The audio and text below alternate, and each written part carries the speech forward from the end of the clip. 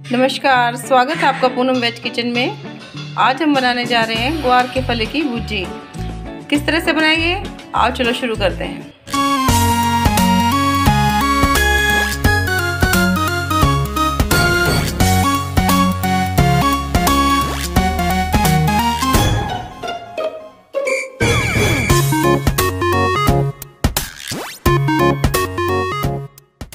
हमने 250 ग्राम ग्वार की फली ली है। इसको हमने आगे से और पीछे से दोनों तरफ़ से थोड़ा थोड़ा कट कर लिया है। अब हम इसे धोकर उबालेंगे। फलियों को हमने धो लिया है।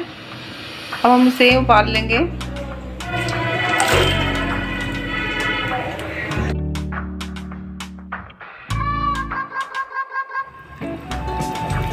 फली उबल गई हैं। तकरीबन 10 से 12 मिनट हो गए हैं। हाई टू मीडियम फ्लेम पर हमने इसे उबाला है। अब हम इसे पानी में से निकाल लेंगे। फले को हमने उबाल लिया है।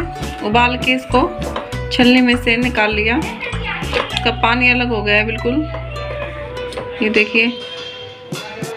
जब हल्का थोड़ा सा ठंडा हो जाए, तब हम इसे निचोड़ लेंगे। निचोड़ेंगे इसे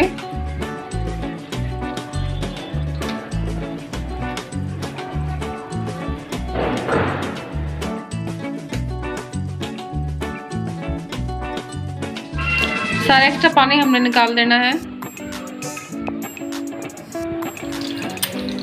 फली को हमने निचोड़ लिया है। अब एक बार हम क्या करेंगे? हाथ से इसको इस तरह से थोड़ा सा मसल देंगे। पैन में हमने तेल डाल दिया है।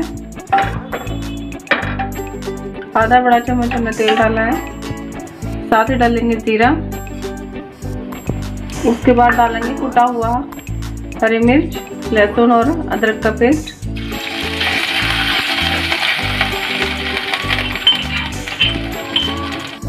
एक छोटा कटा हुआ प्याज। भून लेंगे।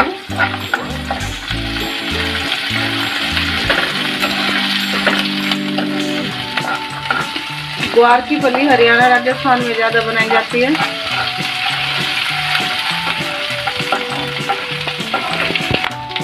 मसाला भुन गया है। अब हम डालेंगे फली।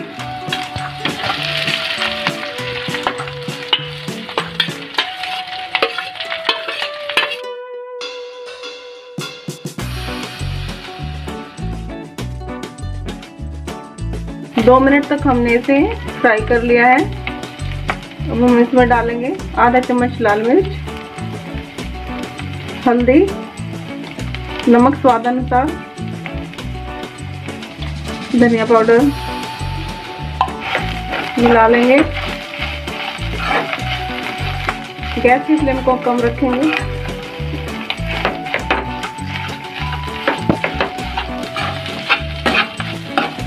हम तीन से चार मिनट बिल्कुल लो फ्लेम में से ढककर पकाएँगे। ढक्कन हटाकर देखेंगे।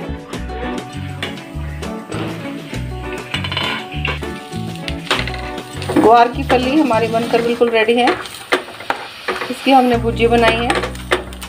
और इसमें हमने किसी भी तरह का कोई खटाई, दही, टमाटर यूज़ नहीं किया है। और ये बनती भी बहुत अच्छी है। खाने में स्वाद लगती है। अगर आपको मेरी वीडियो पसंद आए तो लाइक शेयर ज़रूर करिए। चैनल को सब्सक्राइब ज़रूर करना।